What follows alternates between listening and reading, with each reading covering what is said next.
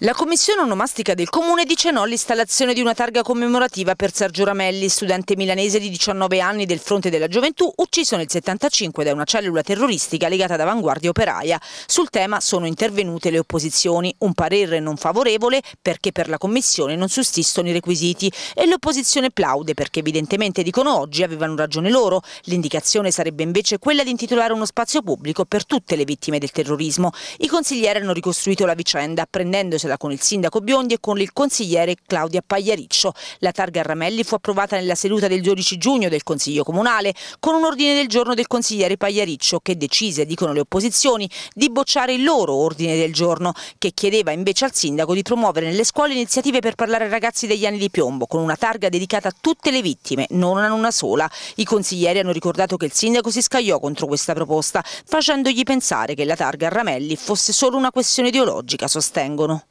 L'ordine del giorno che è stato discusso il 12 giugno in Consiglio Comunale, presentato appunto dalla consigliera Pagliariccio, era evidentemente un ordine del giorno di chiara natura ideologica. Ramelli eh, voleva essere portato in questa città, eh, la Commissione onomastica ha bocciato questa proposta dichiarandola irricevibile, evidentemente tornando anche alla vocazione profondamente antifascista della nostra Carta Costituzionale ed è per noi come forze di opposizione in comune motivo di grande soddisfazione perché noi avevamo provato ad emendare l'ordine del giorno in un'ottica di sforzo collettivo